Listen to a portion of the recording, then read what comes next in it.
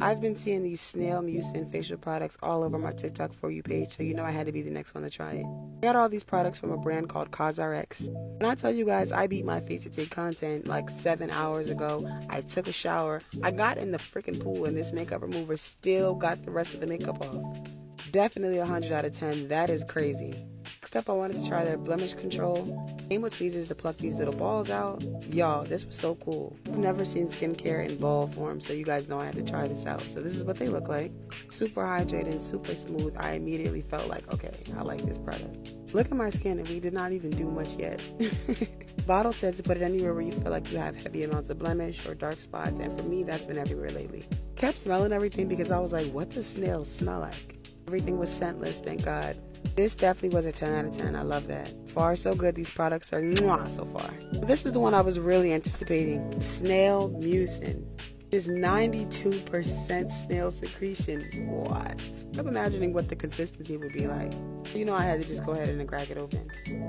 This is the packaging it came in. It had a twist off top, which was good. It even had a seal on it. Guys, look how slimy that is. Oh my gosh.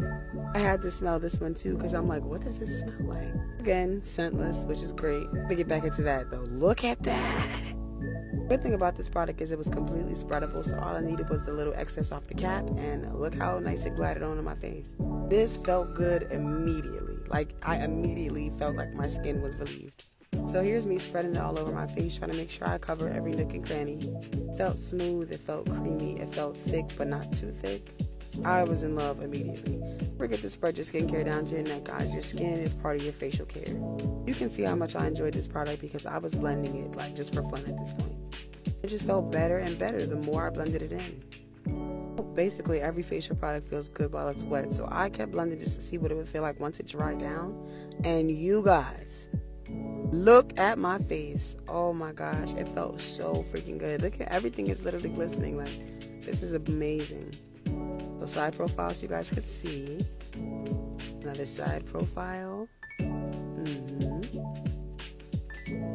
Doesn't my skin just look alive? Like literally, this is about to be a part of my daily skincare. I don't care.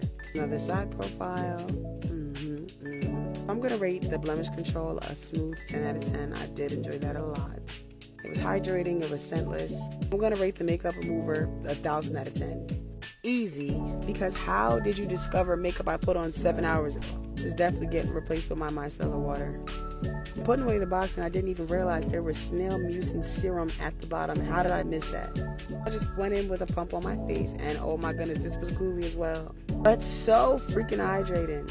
Everything was a 10 out of 10. New favorite products.